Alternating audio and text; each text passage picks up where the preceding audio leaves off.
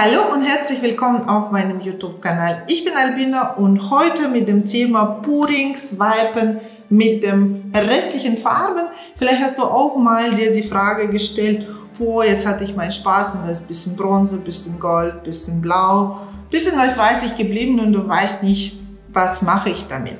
Es gibt zwei Varianten. Entweder hast du deine Farbe und post du das wie ich weiter oder du sammelst das in kleine Fläschchen mit ganz guten Verschluss und dann ist die Farbe auch sehr in guten Händen, kann man die zumachen und weiter verwenden. Ich habe meine Fläschchen auch so leer.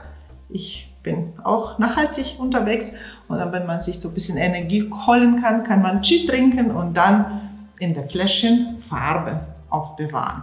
Naja, und heute geht es um Swipen. Bei Swipen brauchen wir immer Kissen. Und das Thema, wie bereite ich Leinwand vor, das hatte ich auch ein Video dazu gedreht. Wenn er neu in diesem Welt der Puring ist, dann könnt ihr diese Video anschauen. Und heute ist wichtig zu verstehen, bei Swipen brauchen wir Kissen. Kissen sind ein bisschen dicker eingemischt als alle anderen Farben. So seht ihr, dass es fließt, aber ein bisschen dickflüssiger. Und ich habe auch auf meinen Decke hier ganz viele Farben waren da und ich habe sie auch gesammelt. Die würde ich auch verwenden. Wie gesagt, für mich ist das auch jetzt ein Experiment. Ich fange wirklich mit dieser Farbe, die ich von Tisch gesammelt habe. Das wird jetzt meine Eckenzudeckung, weil das ist jetzt wirklich Rest, Rest, Rest. Ja. Und das kommt an die Seiten, damit es einfach fließt. Und äh, ja, so mache ich. Und wie ihr seht, das fließt schon. Ist gut. So. Und dann nehme ich mein Kissen in die Mitte, gieße ich das da.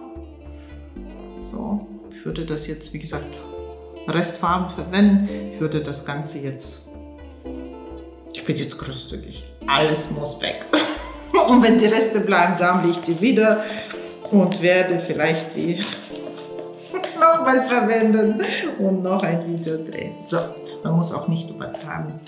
So, und wie fange ich jetzt an? Das ist jetzt, sehe ich gerade, da gibt es bei mir so Bläschen entstanden. Das ist eigentlich, man kann das mit Holzstäbchen so ein bisschen wegnehmen oder man kann die mit dem Heißluftton äh, wegpusten und ich denke, das mache ich jetzt, weil die Farben standen so ein bisschen und das gefällt mir jetzt nicht. Ich weiß nicht, ob ihr das seht, da sind überall ganz viele Bläschen.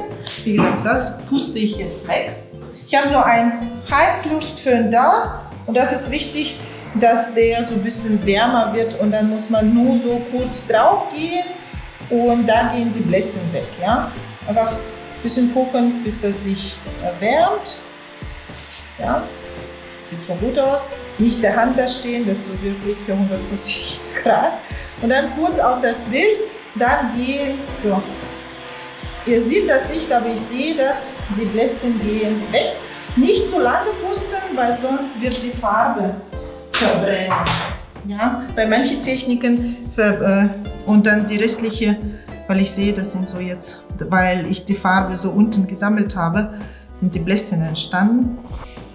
So, jetzt habe ich die weg. So, dann nehme ich meine goldene Farbe. Ich mache jetzt, wie gesagt, Experiment. Ich mache eine Farbe so. So, die ganze Farbe muss weg. Das ist die Bronze.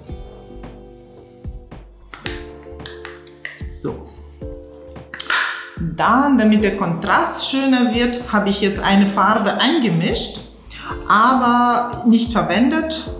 Dann gehe ich mit dieser Farbe oben drauf. So. Dann nehme ich das. Das ist so ein bisschen wie Swipen vorher, aber wird ein bisschen anderes mache das so. Ich mache jetzt zwei Techniken in eins sozusagen, habe ich jetzt so eine Idee und nehme einfach ein bisschen mehr Farben, weil ich hatte Gefühl, bei ersten, zweiten war das ein bisschen zu wenig. So, jetzt mache ich das ein bisschen mehr Farben. Color. Und dann hatte ich ein anderes Gold auch gemischt. Dann würde ich jetzt hier in die Mitte packen. Und gefühlt wird jetzt kein Experiment. Es wird jetzt noch ein zweites Bild, nur ein bisschen anderes. Äh, für Kontrast nehme ich richtig ein bisschen dicker, weil man nimmt sonst für Swipen ganz wenig Farbe. Und ich nehme jetzt ein bisschen mehr. Und mal schauen, was, was passiert. Was mache ich noch? Was mache ich noch? Ich mache noch folgendes. Ich mache hier und da zwei freie Swipe. Leute, wie gesagt, das ist jetzt Spinnerei pur. Was wird, weiß ich nicht. Es könnte auch nichts werden, aber vielleicht wird was. Eine goldene Straße mit blauen Blümchen. Na, blau würde ich nicht ganz wegpuren, weil das war auch so ein bisschen, ein bisschen zu viel gemischt. Die werde ich aufbewahren. Und ich mache eine, das ist auch vielleicht interessant, hier in die Mitte mache ich hellere Farbe. Ich mache die Bronze. Da hatte ich noch ein Tropfen Bronze da. So. Und bei der anderen mache ich richtig dunklere Farbe rein, weil dann kommen die Zellen besser raus.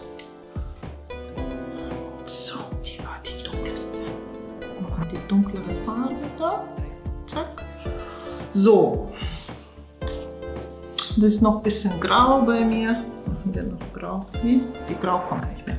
So, ich denke, es reicht.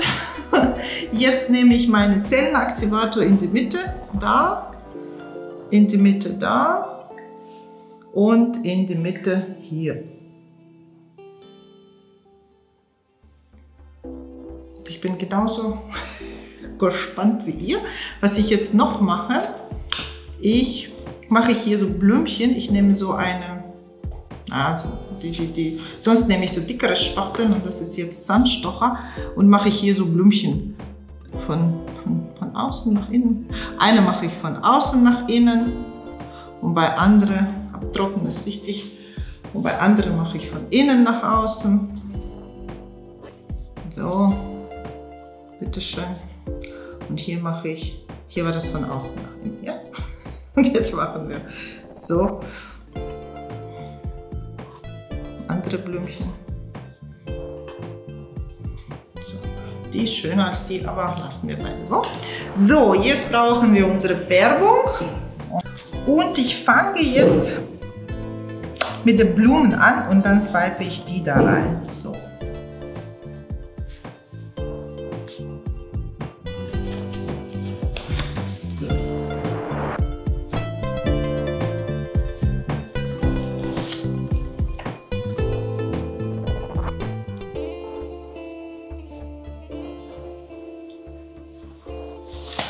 Wichtig ist, dass wir unsere Werbespot, so das Papierchen ein bisschen abtrocknen und dann so leicht ziehen.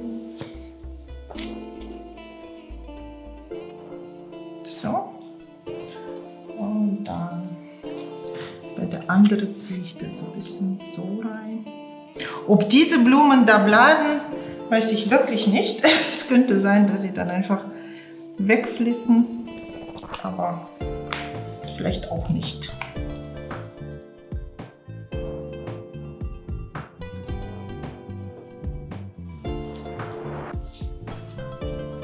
Die lasse ich so, dann entstehen vielleicht Kontraste.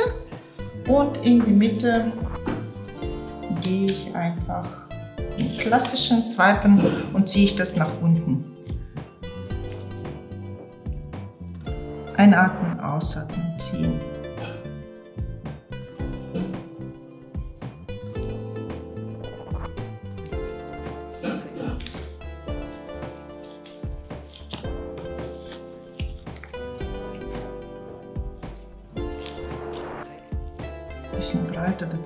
Dazwischen lasse ich ein bisschen Farbe da. Die Blume. Die Blume geht weg.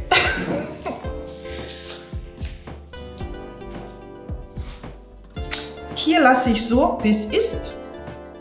Wie gesagt, wenn man experimentiert, muss man auch ein bisschen was trauen.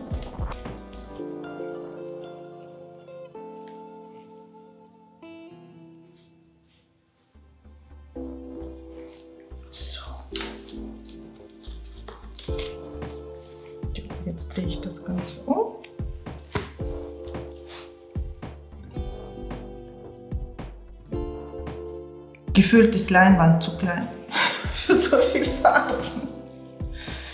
So.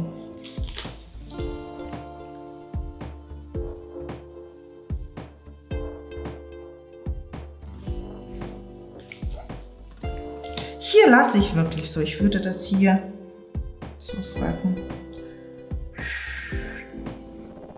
So. Ja,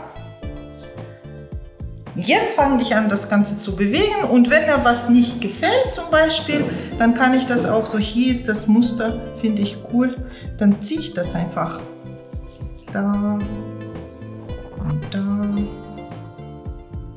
Würde ich sagen, das gefüllt.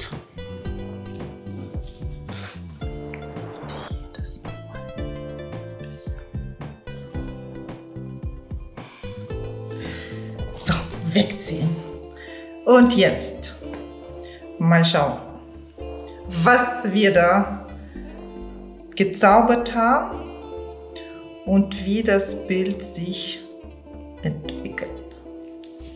Und wie ihr seht, je mehr Farbe, desto cooler fließt das. Ja. Und hier wollte ich erstmal so ein bisschen und das ist jetzt viel Farbe, so ein bisschen das Bild bewegen.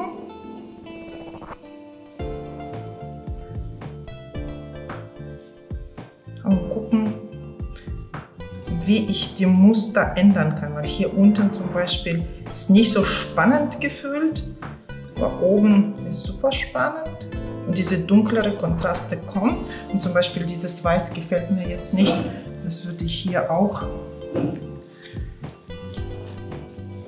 hier nach unten ziehen. Ja, und das vielleicht diese dunklere da reinziehen.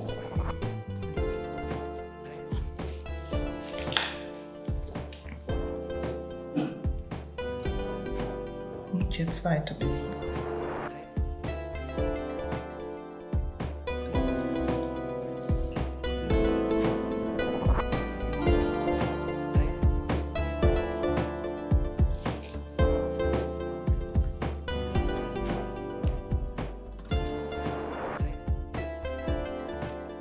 So, wie ihr seht, die Farbe kann man hin und her schieben und hier in die Mitte finde ich das ist sehr schöne Zellenbildung. Ich würde den Rest jetzt, obwohl diese Seite gefällt mir auch gut.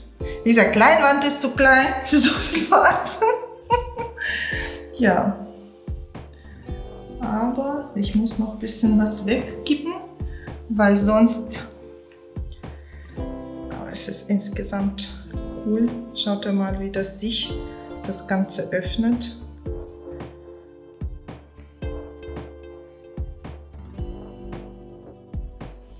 Und ihr könnt das weggießen, was euch nicht gefällt. Ja, hier haben wir so ein bisschen, ähm, was soll ich sagen, bisschen mehr gemacht. Und jetzt kann ich das bisschen mehr auch weg und dann zurück. Das ist natürlich spannend. Gefühlt würde ich das nicht mehr drehen. Ich lasse das jetzt kurz auf mich wirken.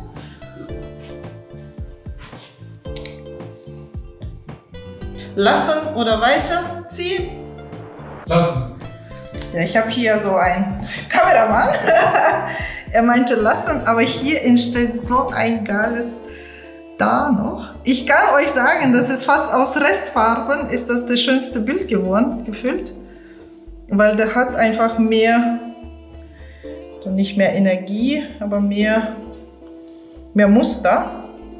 Ja, ab und zu Finger weg ist gut, aber Leute, schaut mal, was passiert. Da drunten kommt weitere Muster und weitere.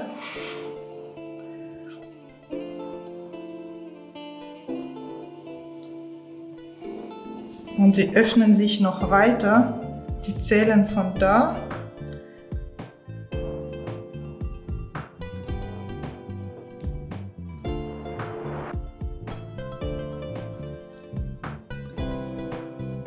lassen. Es war schon so einmal lassen, aber ich denke, jetzt ist, jetzt ist wirklich so lassen. Huh. Ja, lassen. Ich zeige euch nur mal, ich mache nur meine Hände ein bisschen ähm, sauberer und zeige euch, wenn, liebe Leute, wenn ihr ein bisschen mehr Farbe nimmt, dann habt ihr ein bisschen mehr Fläche zum Experimentieren und natürlich wenn ihr nicht an die Farben spart, schaut ihr mal, habt ihr wirklich überall perfekte Ränder. Die Seite gefällt mir sehr gut. Drehe ich das jetzt kurz um. Schaut mal. Rand ist in sich so ein bisschen Kunstwerk. Und das Bild lebt noch, aber ich lasse das.